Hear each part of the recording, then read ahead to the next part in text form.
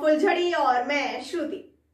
Film अभिनेता रणवीर सिंह ने अपने इंस्टाग्राम पर अपने ससुर प्रकाश पादुकोण का एक वीडियो साझा किया है। जी हाँ इस वीडियो में दिग्गज बैडमिंटन खिलाड़ी प्रकाश पादुकोण उन्नीस सौ तिरासी विश्व कप फाइनल की अपनी यादों को साझा करते हुए दिखाई दे रहे हैं। उन्नीस सौ तिरासी में भारत ने वेस्टइंडीज को हराकर विश्व कप जीता था।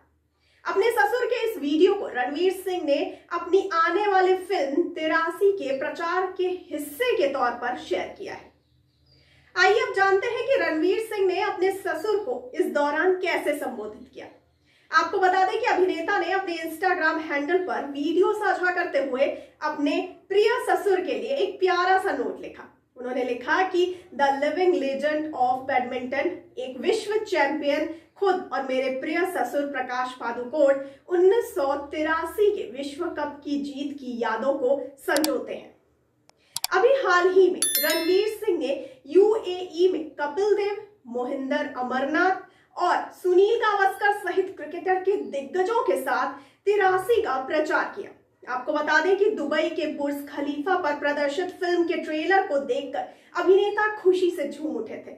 दुनिया की सबसे ऊँची इमारत पर चैंपियन एक्टर ने दुबई में अपनी हालिया प्रचार गतिविधि से वीडियो साझा करते हुए लिखा था और अब भारत की उन्नीस क्रिकेट विश्व कप जीत के बारे में प्रकाश पादुकोण ने क्या कहा आइए जानते हैं 25th June 1983 was a landmark day in the history of Indian sports. India won the World Cup for the first time, most unexpectedly. We were in Denmark at that time. I was playing professional badminton. You know, I couldn't see the match live, trying to get the news you know, either from radio or from BBC. When we heard that India had won the World Cup, I think it was unbelievable. India had beaten the mighty West Indies in those days. That was a turning point for Indian cricket uh, from what was a sport became a religion. इस video में प्रकाश पादुकोण कह रहे हैं कि जब भारत ने पहली बार 25 जून उन्नीस को विश्व कप जीता उस वक्त वे डेनमार्क में थे और बैडमिंटन खेल रहे थे। वे कह रहे हैं कि अपने खेल के कारण वो मैच को लाइव तो नहीं देख पाए, हालाँकि वो रेडियो के ज़रिए स्कोर पर नज़र रखे हुए थे। जब उन्होंने सुना कि भारत ने विश्व कप जीत लिया है तो यह क्षण उनके लिए अविश्वसनीय था। रणवीर सिंह द्वारा शेयर इस वीडियो को अब तक एक लाख चौबीस हज़ार से भी ज़्यादा लोग देख चुके हैं और इस पर जमकर कमेंट भी कर रहे हैं।